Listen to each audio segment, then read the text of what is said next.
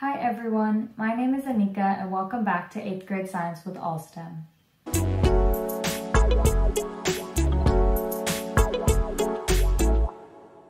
Today's video covers the ecosystem standard. It talks about the factors of an ecosystem, the relationships between organisms, and the flow of energy. As always, each of our review questions is time-stamped, so you can skip the explanations for questions you feel confident in and move directly on to the next timestamp. Also, make sure to check out our links for further reference page at the end of the video for extra practice. This page has links that go with each question, so you can dive deeper into the challenging ones. It's linked in the description box. Alright, let's get started with the first question. Question 1. Classify the following as biotic or abiotic temperature, tree, mold, carbon, dead organism, rock, salinity, bacteria, water, and bird. If you need more time to look at the options, go ahead and pause the video here.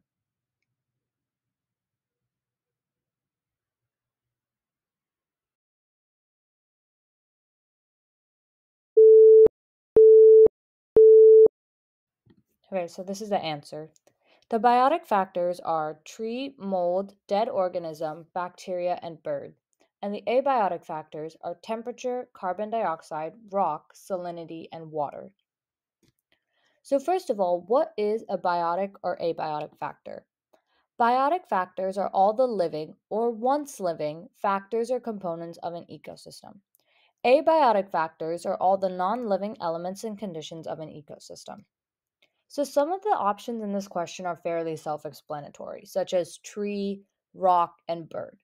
We know that tree and bird are definitely living organisms, and a rock is a non living element of an ecosystem but there are some confusing options.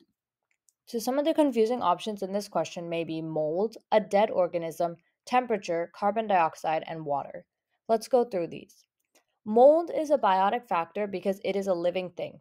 It's a fungi. This makes it biotic.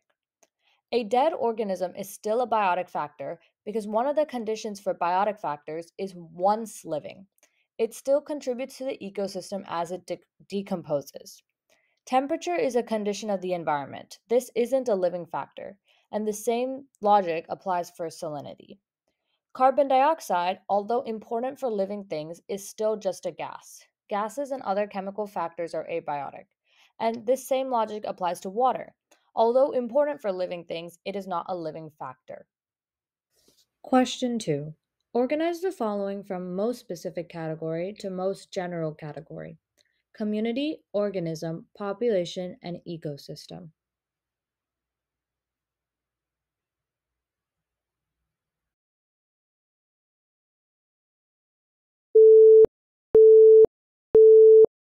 So the answer is organism, population, community, and ecosystem.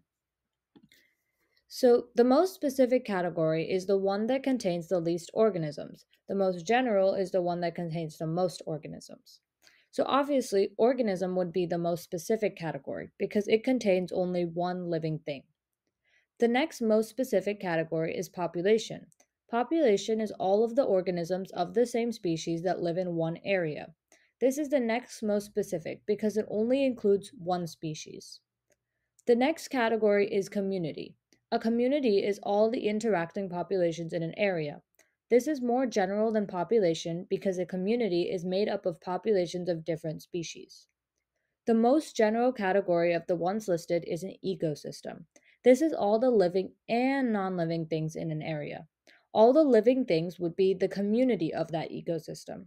The non living things would be the abiotic factors in that area. Question 3.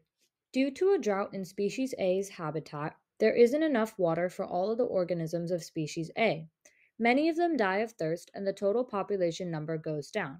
In this situation, the lack of water is a A. Biotic factor, B. Limiting factor, C. Man made factor, D. All of the above.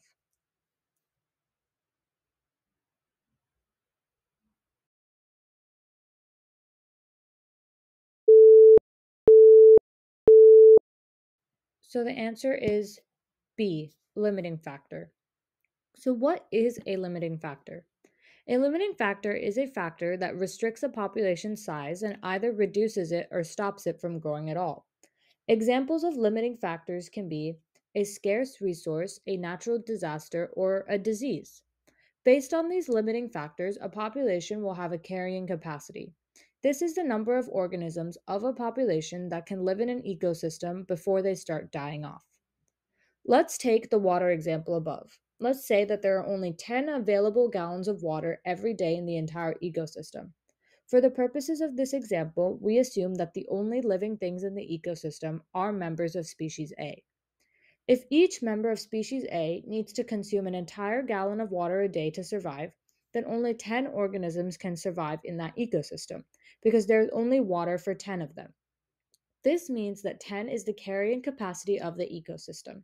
If there are more than 10 members of species A, the ones that don't get sufficient water will die off, bringing the population back down to 10.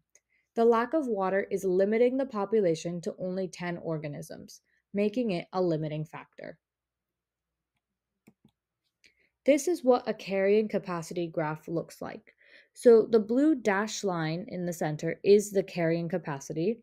The y axis is the number of organisms, and the x axis is time. So, as soon as the population goes above carrying capacity, which is right about here, some of the organisms die because the ecosystem can't support that many organisms, and the population goes back below carrying capacity, right here. Then the population reproduces and ends up going over carrying capacity again, but then it has to come back down because the ecosystem can't support it. This cycle just continues, which is why this graph goes up and down and up and down. Question 4. Classify the following as density dependent limiting factors or density independent limiting factors natural disasters, competition for food, environmental changes, predation, and disease.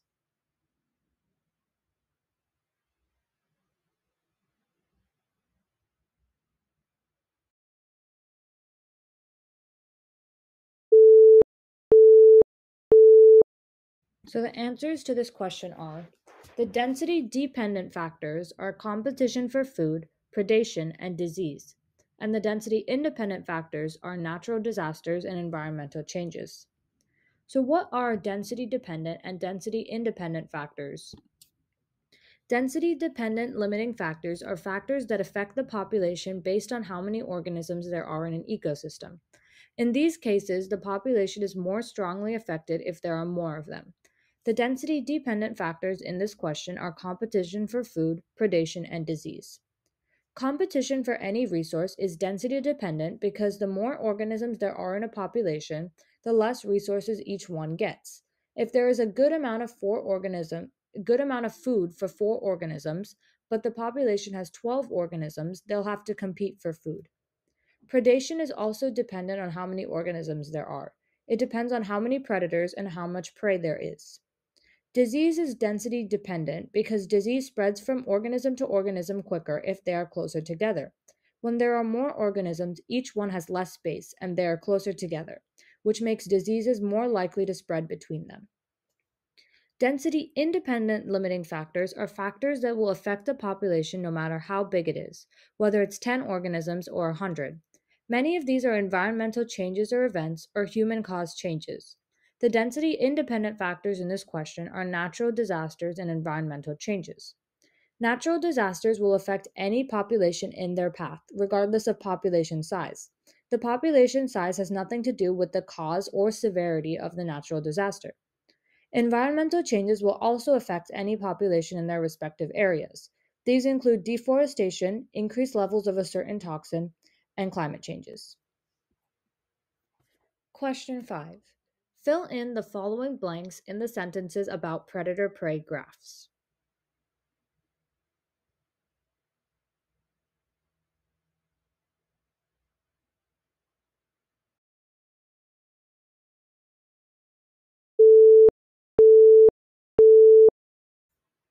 Okay, so the answers to these sentences the first sentence says if the predator population increases, the prey population decreases. The second one, if the predator population decreases, the prey population increases. The third one, if the prey population increases, the predator population increases. And the fourth one, if the prey, prey population decreases, the predator population decreases. So before even looking at the predator-prey graph, we can use the concepts of predation to figure out whether each population increases or decreases. So for the first one, if the predator population increases, what happens to the prey? If there are more predators eating the prey, it only makes sense that more of the prey will be dying, so the population will decrease. For the second one, the same concept applies the other way around. If the predator population decreases and there are less predators to eat the prey, the prey population will increase because they are not being eaten as much. Third, on the third one, now we switch to the prey. If the prey population increases, what happens to the predators? If they have more food to eat, it makes sense that the predators would reproduce more, so the population would increase. And the same applies vice versa. If the prey population decreases and there's less food for the predators, the predator population would also decrease. This is a predator prey graph. So the green line here is the prey, and the red line is the predator. And the y axis is the number of organisms, and the x axis is the time. So both the prey and predator lines fluctuate based on each other. This is what happens in a stable ecosystem. When prey numbers go up, which is this green line right here, when prey numbers go up, the predator numbers go up shortly after. So now the predator numbers have gone up. This causes the prey numbers to go down because there's more predators eating the prey. So then after the prey, predator numbers go up, the prey numbers go down, which causes the predator numbers to go down. This causes the prey numbers to go up again, which starts the cycle all over again. Question 6. Species A and species B live in the same type of tree. They both eat the same type of worm. They both need the same type of materials to make their nests. These two species have the same blank. They can or cannot live in the same area.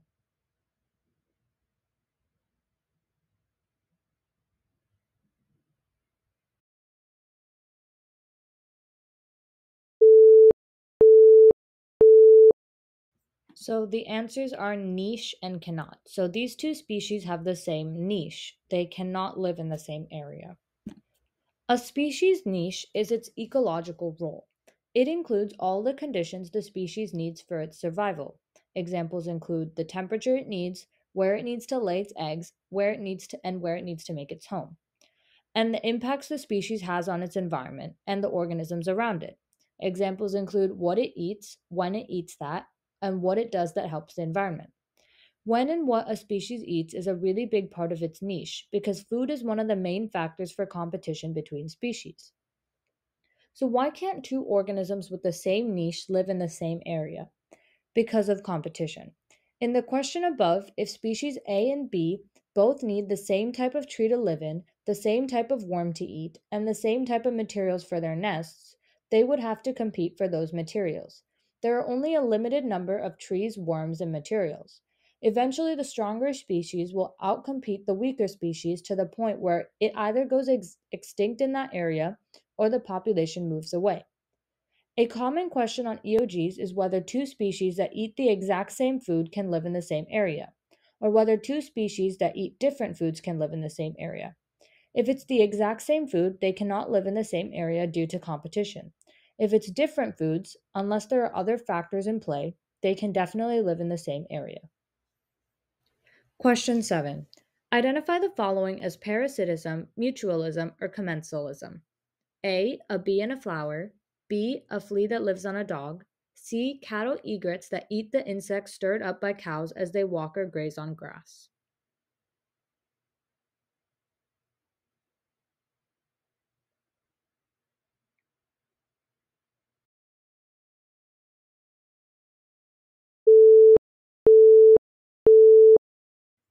Okay, so the answers are A. Mutualism, B. Parasitism, and C. Commensalism.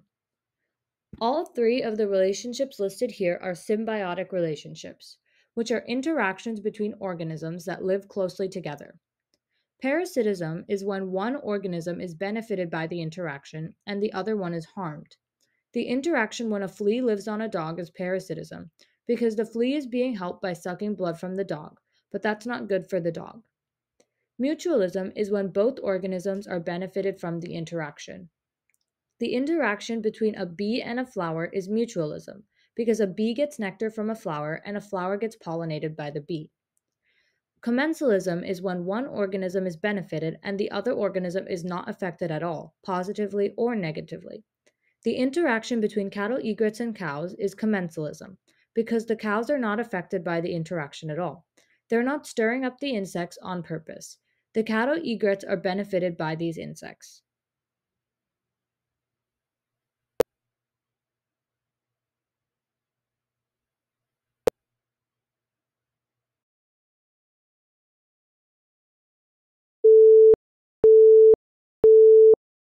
So the answers are corn is the producer, mouse is the primary consumer, and the owl is the secondary consumer. The producer is at the bottom of the food chain. Producers are the autotrophs of the food chain. Autotrophs are the organisms that take energy from the sun and make it into chemical energy, basically plants. The producer of a food chain is always a plant. The plant here is the corn, and that's why it's at the bottom of the chain. The primary consumer is the herbivore of the food chain. Herbivores are organisms that only eat plants. The mouse eats the corn. The secondary consumer is the organism that eats the primary consumer. It can be a carnivore if it only eats meat, or an omnivore if it can eat plants and meat.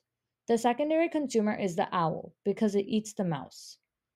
You can keep going further and further up the food chain with tertiary consumer for third, quaternary for fourth, and more. But if there are many consumers, you may only need to single out the primary consumer and then call the rest consumers in general. What's important to know from a food chain is from which organism to which organism the energy flows. It always starts with the producer, aka the plant, then goes to the primary consumer, then to the thing that eats the primary consumer, and so on until you reach the top of the food chain. Question 9. What type of organism breaks down dead organisms and returns the nutrients in those organisms back to the environment so that they can be reused by other organisms?